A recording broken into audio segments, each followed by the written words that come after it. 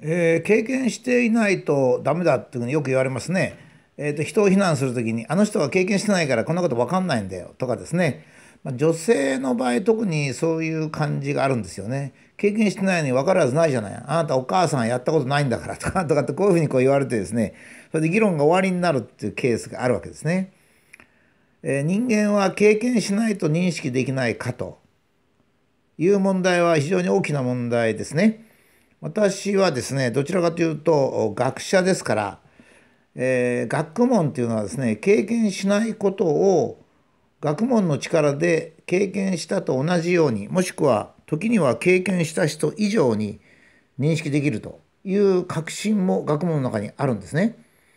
もちろん体験学習となりますから 体験しなければ学習できないというものもありますけれども私などはですねどちらかと言いますとあの経験よりか知識とかそういうもので、えー、認識することができるそれがまあ教育の本質であるというその気持ちがちょっとあるんですね。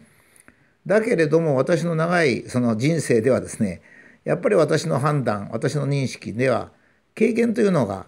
非常に大きな力を成しているわけですね。じゃあですね経験がなぜ認識になるのかと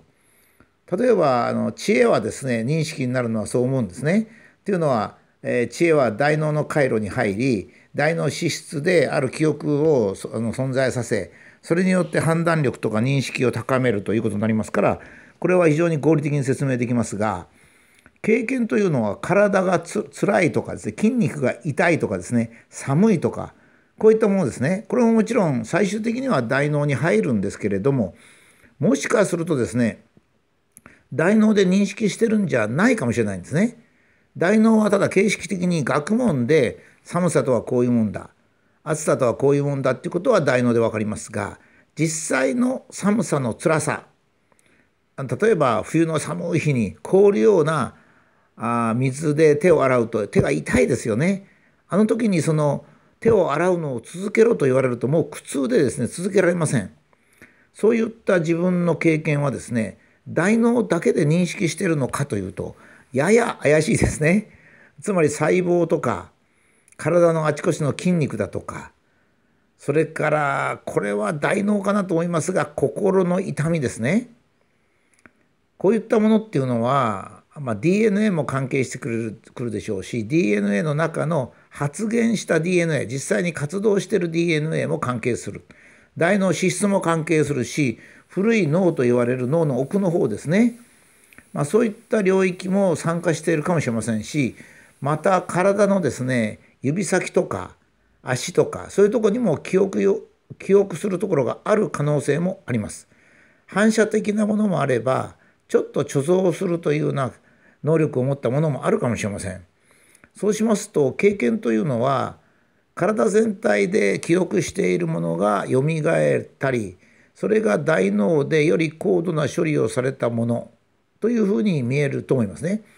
それからこの、えー、経験と認識の中には自己的な防御の認識っていうのはすごくあるでしょうね。例えばよく経験しなきゃ分かんないよって言われるにはそういうのがありますね。あの辛さを経験しなければ分からないとか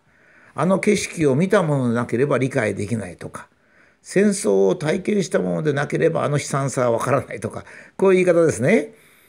こういう言い方の中には多くはですね自己防御的な体の反応とその時の人間の認識というものが大きく関係しているように思われますね。まあ、ですから私はまあ経験によってあなたは経験しなきゃ分かんないよってことに対して私はいやそれは教育で分かるんだと、まあ、こういうふうに教育がそれこそ体験しないことを教育できる例えば嫁姑の争いを経験したことないこともない人もですね嫁姑の争いに関する理論精神的分析結果小説、まあ、そういったものをですね学ぶことによってその嫁姑の間の嫁と姑の心理的な状態辛さ、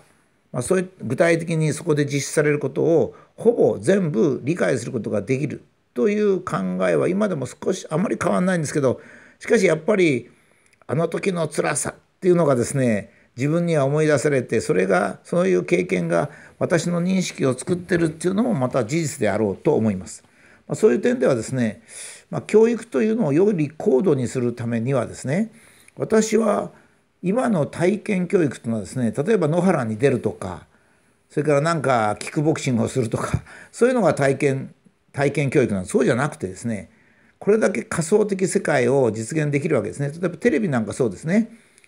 テレビを見て我々の認識をが形成されるのは非常にインチキなのが多いんですね。例えば我々は視覚情報と思ってて目で見てこれはこうだあれはあだと思う。この経験はですね例えば台風が来ると。そうすると家の近くはほとんど雨が降ってないけれども川の方に行くとものすごい雨降ってて川が溢れそうだと、まあ、こういうようにバランスのいい全体的な、まあ、体験とか認識っていうのをするんですけどもテレビだけ見てるとですね 川が氾濫するとこだけしか映しませんから台風のああいうものかと思ったりしますね。この前私あるテレビの放送で暴風雨の時の空を映したものをやったんですね。全く晴れて風が無風なんですよ。風が無風で空が晴れてるのに天気予報では暴風雨ってなってるんですよその地域が。そして暴風雨の映像が流れてるんですよ。もうすごい雨風で。そうするとですねテレビっていうのはテレビの画面に映した暴風領域ですという絵と地図ですねそれとテレビの画面に映ったもう台風が吹き荒れている荒れている姿の2つが入るんですよ。ところが私がいたところはですねテレビで言ってる地図の暴風圏内なのにもかかわらず無風で晴れてるんですよ。ですからまあテレビの認識っていうのがどういう影響を我々に与えるかってのは難しいわけですね。しかしこれをプラス側に考えてですね仮想的な世界を体験するんですよ。例えばですね、えー、と学校に行きますとね、えー、今日はジャングルの体験をしますっつって、えー、まあ歩きながらでも座りながらでもいいんですけど激しいセミの音虫の音時には刺される腫れる食事がない、え病気になる辛い崖を登んなきゃね全部仮想的に体験するんですよ。一日で全部。それをなんか時間が長く感じられるような体験システムを作ればですねジャングルで1ヶ月生活した後同じ体験ができる。その次にアメリカに今日は行きましょう。つってですねアメリカで自分が歩いてる様子アメリカの空気アメリカのそのなんか英語の怒鳴り声空港に行った時の感じ、えー、レストランに入った時のそっけない店員の態度その全部体験する、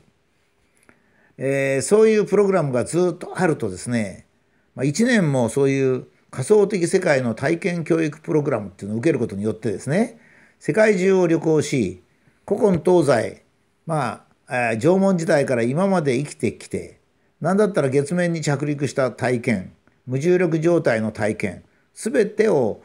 まあ、1年ぐらいで体験できるかもしれませんね。それから教育もですね